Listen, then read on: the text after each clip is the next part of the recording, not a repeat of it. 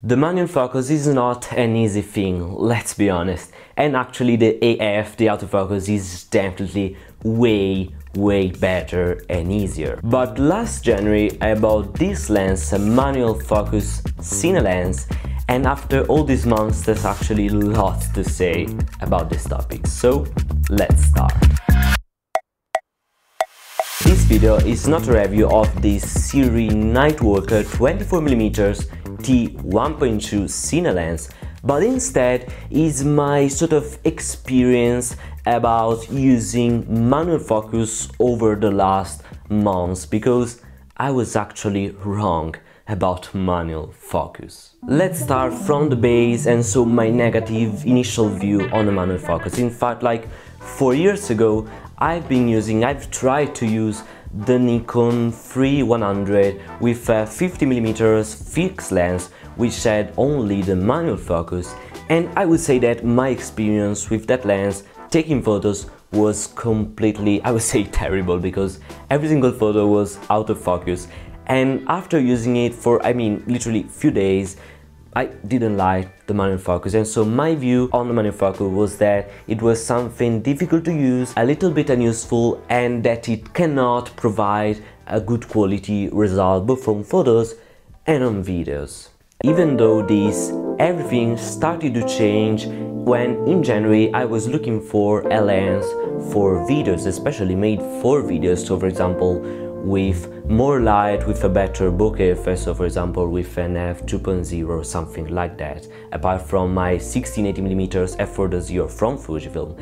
And you know, I didn't want to spend much money, but apart from this, I wanted a bit of a wide lens at a not big price with some really amazing quality results. And so I knew that the cine lenses were great, and so I decided to go on the Sirui 24mm even though it had manual focus. But there are, there are, actually lots of reasons for this choice because at the start, as you can believe, it was not easy to buy something considering that I didn't like manual focus. At the start of the video, I said that I was completely wrong about manual focus for one main reason. That is because all the cameras became better and better throughout the time, throughout the years, and today manual focus as uh, in I believe every single camera in my case in Fuji have an electronical and so a sort of an automation way to control the focus and to check if the subject and if a point of your image or video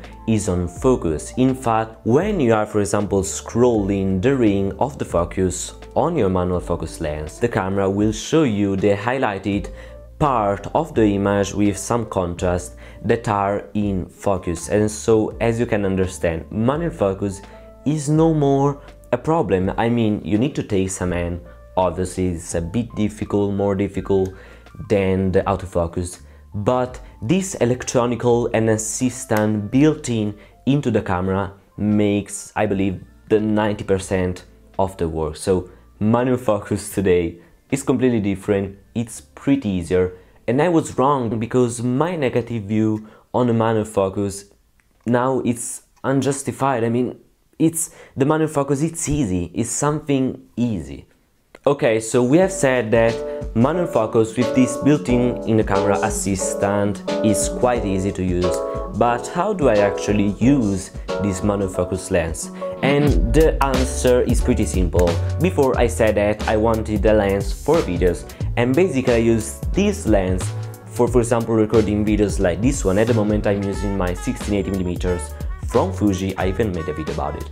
But usually, for example, in my previous video, I've been using this lens, which is pretty amazing because once you've understood the distance between yourself, the face and the camera, the distance is always that one is something constant and so the focus point will be almost the same one during the whole video. And apart from this which is the easier task to do with a manual focus lens I even record for example all the b-rolls because I really like the T1.2 bokeh. That's literally amazing. But even even though it's a manual focus and slow it takes a bit of more time to understand the focus point you can even take some videos in motion, for example, some little short videos outside, moving around, because after some times you actually understand how to deal and how to use the manual focus and you can sort of predict the focus point and so that's the real game in manual focus. Talking about the advantages of having a manual focus on a lens, first of all I would start from the price because I mean having a manual focus rather than an autofocus system on a lens is cheaper because you just have a ring for the focus to change the focus. And this is way cheaper than having a whole autofocus system built in into the lens. And so you can save money on this side.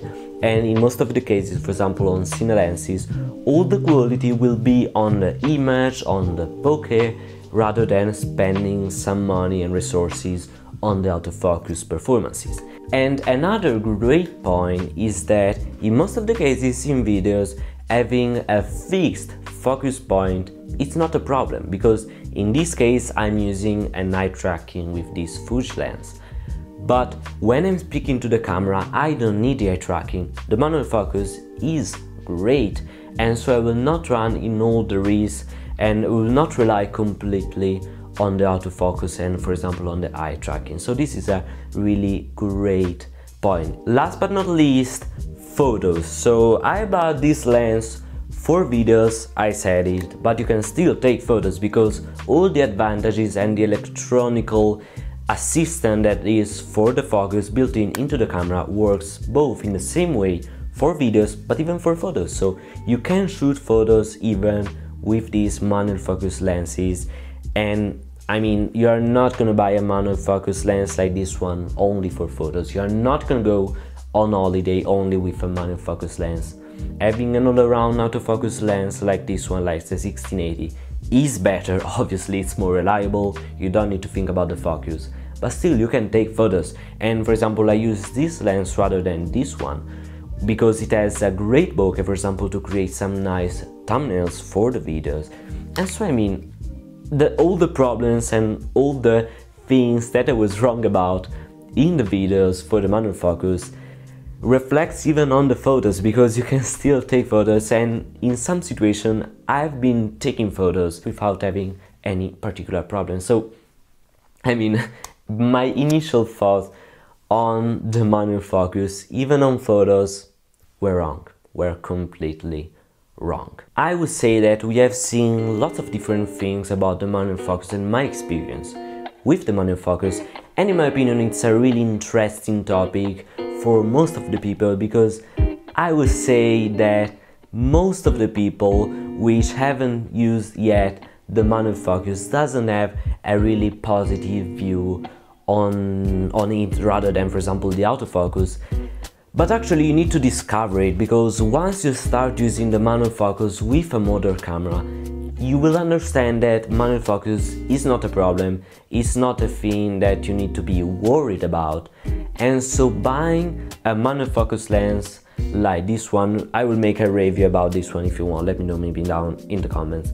But in general, having and buying a manual focus for some specific situation can be good and can be even better than an autofocus so you don't need to worry about it. So maybe I will make other videos about this topic because I'm exploring manual focus. I will probably understand a bit more in a more efficient way how to manual focus my videos and my photos so there's still lots to play for, lots to understand, and so maybe you know other contents will come, even videos and but even shorts. So let me know if you are interested into this topic. If you have any particular question, let me know it down in the comments.